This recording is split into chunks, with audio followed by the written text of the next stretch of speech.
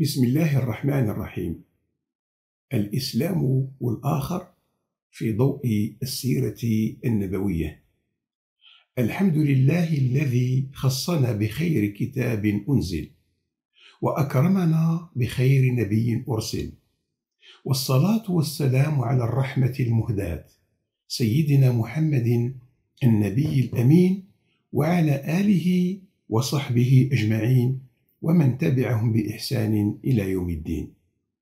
تعتبر السيرة النبوية العطرة عطاء متجددا يجسد مضامين رسالة الرحمة التي جاء بها سيدنا محمد عليه أفضل الصلاة وأزكى التسليم. وذلك مصداقا لقوله تعالى وما أرسلناك إلا رحمة للعالمين وقوله أيضا وإنك لعلى خلق عظيم وقوله عليه أفضل الصلاة وأزكى التسليم إنما بعثت لأتمم مكارم الأخلاق. فكانت سيرته العطرة وسنته المطهرة مصدرا للأخلاق الكريمة ومعينا للقيم الإنسانية النبيلة. من مزايا السيرة النبوية العطرة أنها سيرة شاملة لكل مناحي الحياة الإنسانية. فهي تحكي لنا سيرة رسول الله صلى الله عليه وسلم الشاب الأمين المستقيم قبل أن يكرمه الله تعالى بالرسالة. كما تحكي لنا سيرة رسول الله الداعية إلى الله تعالى بالحكمة والموعظة الحسنة. وهي أيضا تحكي لنا سيرة الرسول المربي الحكيم الذي يسهر على تربية أتباعه تربية مثالية قائمة على الصدق والوفاء مع أنفسهم ومع الآخرين من غير المسلمين. لقد احتفلت السيرة النبوية العطرة بنماذج حية في التعامل الإيجابي مع الآخر من أتباع الأديان الأخرى. ونستحضر في هذا السياق ما ورد في الوثيقة النبوية التي كتبها رسول الله صلى الله عليه وسلم بعد أن استقر بالمدينة المنورة. وهذه الوثيقة التي أوردها ابن هشام في سيرته والتي تعد أقدم دستور دقيق مسجل في العالم تتضمن المبادئ السامية لرسالة الإسلام الخالدة.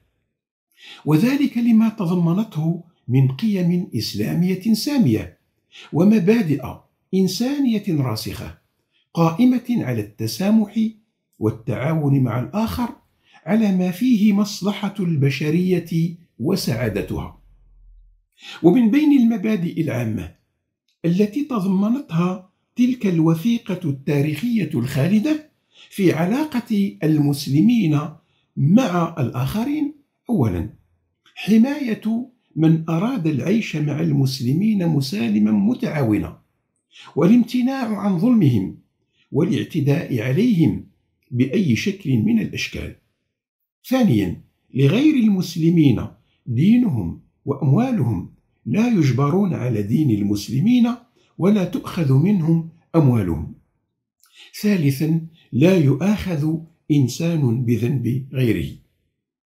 لا شك أن هذه المبادئ السامية التي أسس عليها رسول الله صلى الله عليه وسلم مجتمعا جديدا وأمة إسلامية جديدة بالمدينة المنورة.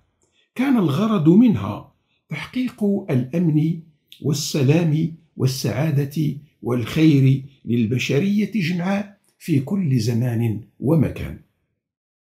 ثم إن العلاقة في التعامل مع الآخر تقوم على المبادئ الدينية الآتية. أولا حرية الاعتقاد بحيث لا يكره أحد على ترك دينه واعتناق الإسلام. لقوله عز وجل لا إكراه في الدين قد تبين الرشد من الغي وقوله عز وجل ولو شاء ربك لآمن من في الأرض كلهم جميعا. أفأنت تكره الناس حتى يكونوا مؤمنين؟ ثانيا التسامح وهو مبدأ راسخ في الإسلام وله شواهد كثيرة في السيرة النبوية العطرة. ومن الأمثلة على ذلك تسامح النبي صلى الله عليه وسلم مع غير المسلمين في فتح مكة. حين قال لهم ما تظنون أني فاعل بكم؟ قالوا أخ كريم وابن أخ كريم. فقال لهم الرسول السمح الكريم صلى الله عليه وسلم أقول لكم ما قاله يوسف لإخوته لا تثريب عليكم اليوم يغفر الله لكم. ثالثا الوفاء بالعهد. تخبرنا كتب السيرة النبوية العطرة. أن النهج الذي سلكه النبي صلى الله عليه وسلم في معاملاته ومعاهداته مع غير المسلمين كان دائما مؤسسا على مبدأ الوفاء بالعهد. وقد قال صلى الله عليه وسلم خياركم الموفون الطيبون رابعا الرحمة والبر وهو مبدأ قرآني راسخ أيضا. فالمسلم مدعو بأن يتعامل مع الآخر في إطار من الرحمة والبر. ذلك أن الاحترام هو أساس العلاقات الإنسانية. وتمدنا كتب السيرة النبوية العطرة أن غلاما يهوديا كان يخدم النبي صلى الله عليه وسلم فمرض فعداه عليه السلام فعرض عليه الإسلام فأسلم. لا شك أن هذا الموقف النبوي الشريف أثر في هذا الغلام أيما تأثير مما جعله يقبل عرض النبي عليه أفضل الصلاة وأزكى التسليم. خامسا المساواة. فقد أقر الإسلام المساواة بين المسلمين وغيرهم في المعاملات الإنسانية فقد أعلن القرآن الكريم المساواة المطلقة في الأخوة الإنسانية. قال تعالى يا أيها الناس إنا خلقناكم من ذكر وأنثى وجعلناكم شعوبا وقبائل لتعارفوا. إن أكرمكم عند الله أتقاكم. سادسا الأمن والسلام.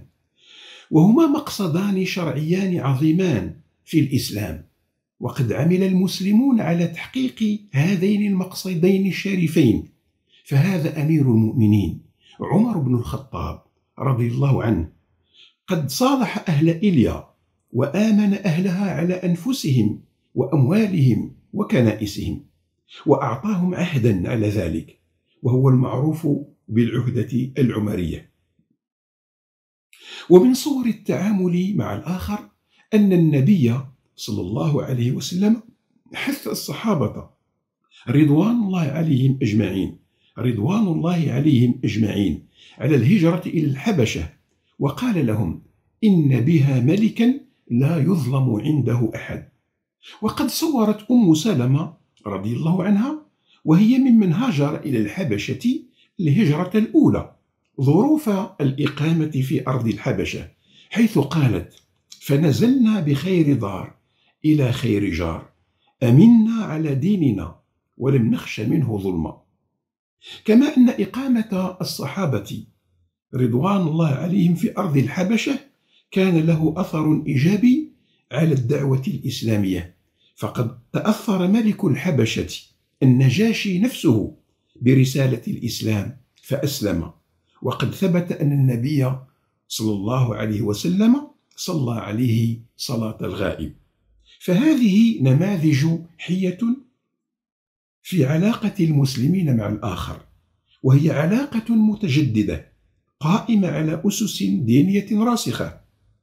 جدير بالمسلم أن يستحضرها ويتمثلها أينما حل وارتحل حتى يكون خير رسول لأعظم دين ألا وهو دين الإسلام والحمد لله الذي بنعمته تتم الصالحات.